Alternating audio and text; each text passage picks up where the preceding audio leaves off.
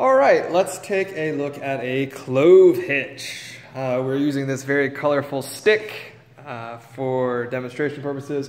There's two different ways you can tie a clove hitch that I know of. We'll talk about the, um, the working end version, which is the end of the rope, and then we'll talk about the uh, looped version, which you can just like bloop, slide over the edge or something. So to tie a clove hitch, which is just a nice way to secure, to secure a rope around something, uh, we're gonna take our end piece and we're going to wrap over the top of your object that you want to secure to.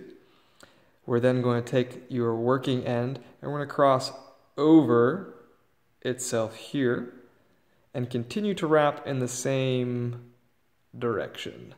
Going over the other side. You'll notice we've created kind of like a little bit like an X right here.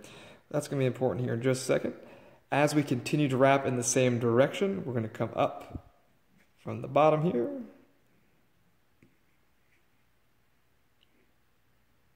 So we wrapped around.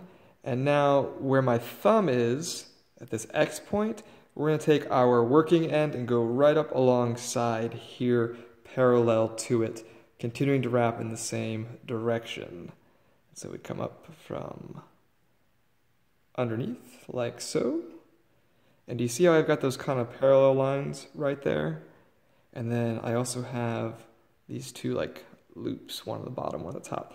And if we pull that closed, we have created our nice clove hitch. There we go. And if the stick were a little bit larger, it would be easier to dress nicely. But you'll notice on this knot that we have parallel lines right here. And then we have a line growing over the top kind of at an angle. Here's what it looks like from the other side. Kind of hard to see all the way around. So that is your clove hitch. It's a pretty nice knot. I like it a lot. It's a good way to secure around a pole or something. There we go. Uh, now let us talk about how to do it using an end, which is way easier. I'm just going to slide this off. So you can take your rope. Here's my rope. We're going to create a twist. I'm going to use my right hand to twist inward like so. You'll notice that for this loop, one piece of the rope is on top going around like so. We're going to grab the tail end of that loop and we're going to twist in the same direction we are twisting, and now, once again, for the second loop, pieces on top, and the other one goes around underneath. So I have two loops back to back. They're made the same style. We're going to take these two loops and take your right hand, cross it over the top of the second one. So again, over the top of the second one. And now we're going to grab this piece right here. Actually, we're just kidding. That's for a different knot. But once we have them crossed over, there is your clove hitch.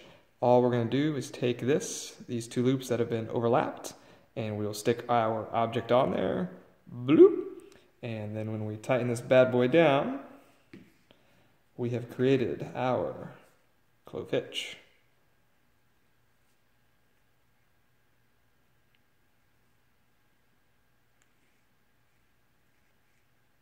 I prefer to tie it using the loop method. Let's try one more time. So we have our line of rope, twist number one, go down the line, twist number two, cross over the top, right hand goes over the top the other one, and then you can just slide it onto your object, tighten her down by pulling both sides, just kind of dress your knot nicely. And there is our lovely hitch. Turned it upside down, but whatever.